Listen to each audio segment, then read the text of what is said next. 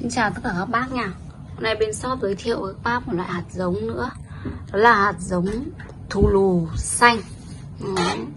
Hay còn gọi là thù lù Lam Mỹ. Thì cái hàng này là hàng xuất xứ từ Mỹ đấy các bác ơi. Riêng một cái giống thù lù quả xanh này thì à, Quả nó khá là to đấy ạ.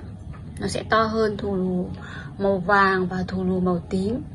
Thù lù màu xanh là quả to nhất tỷ lệ lấy mầm khá là cao, là 90% đấy ạ. Đó. Và một gói này được 30 hạt thôi các bác nhá. 30 hạt nhưng mà phải nói tỷ lệ lấy mầm cao. Đó. Một trong những cái dòng thù lù mà có tỷ lệ lấy mầm cao nhất đó là vẫn là thù lù xanh.